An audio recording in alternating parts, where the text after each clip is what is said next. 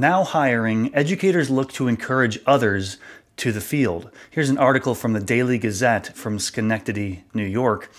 I've seen a recent increase in articles just like this talking about what might turn out to be a massive teacher shortage.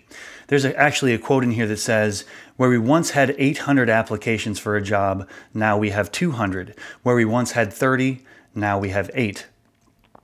That's a bad trend.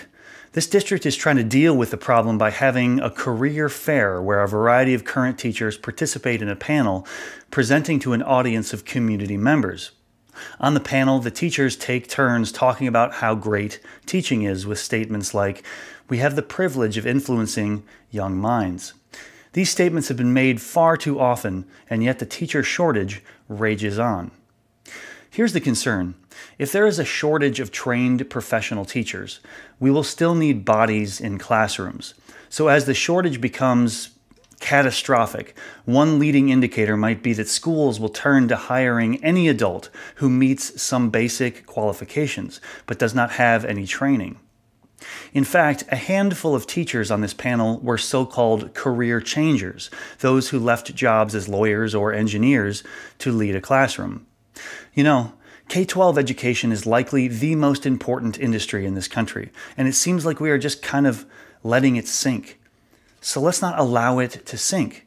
My mind always tries to simplify the problem. If we have a teacher shortage, then there are not enough incentives to pull people into the industry.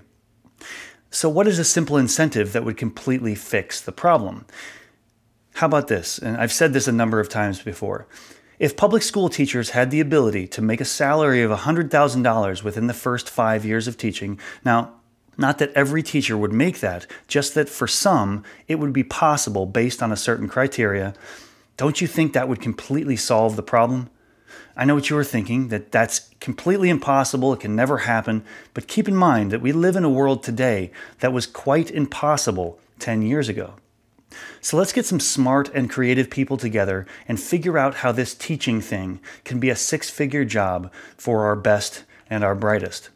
By the way, if you can think of a different incentive that would fix the problem, please share it. We need all the perspectives on this.